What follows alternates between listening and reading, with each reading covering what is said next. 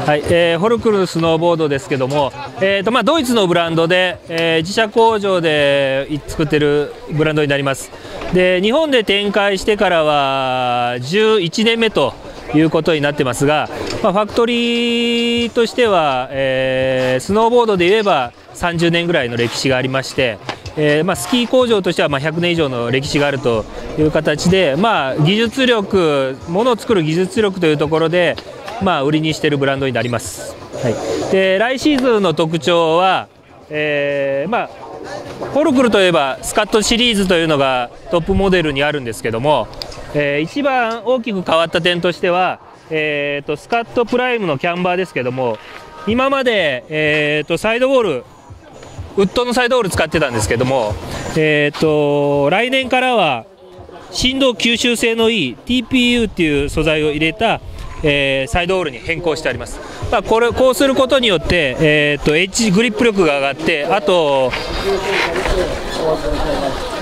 反発としても板がすごく綺麗にしなるようになってますんで、えー、より、えー、フリースタイルにも向いてますしフリーライドにも向くというようなサイドウールを、えー、使ってます。であとスカットシリーズの中で、まあ、ロッカーモデルですね、まあ、こっちが、えーと、フォルクのスカットシリーズの、え、スカットロッカーというモデルなんですけど、えー、今回新しくですねノーズの形状を変更してます。で通常の、えーと、キャンバーの方は普通のラウンドの丸いノーズなんですけども、えー、ノーズをストレートにすることで、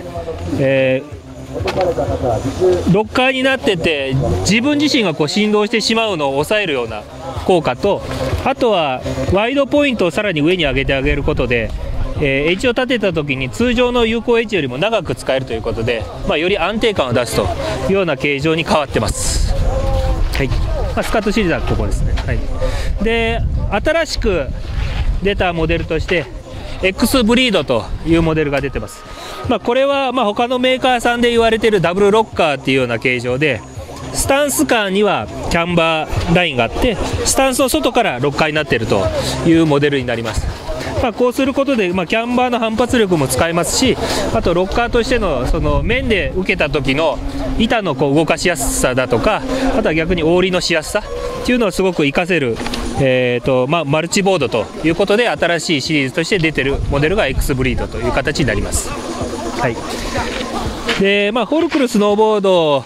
えー、やはり競技者にすごく売れてるんですけども今までレディースモデルでえ、キャンバーのモデルが、え、ここ3年ぐらいなかったんですけども、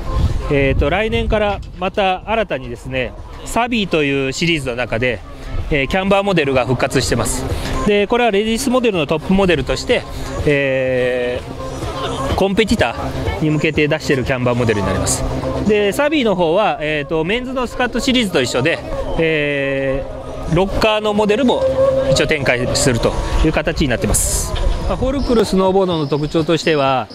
まあ、やはりファクトリーブランドということで、まあ、特にあと、まあ、スキーも作ってるというブランドとしては、まあ、基本的に、まあ、しっかり、えー、フリーライディングをするというところが、まあ、特徴としてあります。それは、まあ、フリースタイル用の、まあ、ツインチップのモデルもそうなんですけども、まあ、あくまでも、まあ綺麗なターンができる板。で、まあ、スキーと違うところとしては、まあ、2点荷重でやっぱり板をしならせていくというところでやはりターン中に綺麗な深淵になるっていうのを理想として作っているのが、まあ、ホルクルスノーボードになりますでそういう意味ではやはり、まあ、しっかりまずフリーランをしてくださいというようなところが、まあ、メッセージとしてありますので、まあ、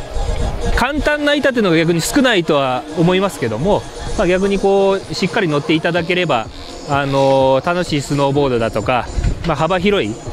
ャンルに対応した板がいっぱいありますので、えー、ぜひ乗っていただきたいなと思います。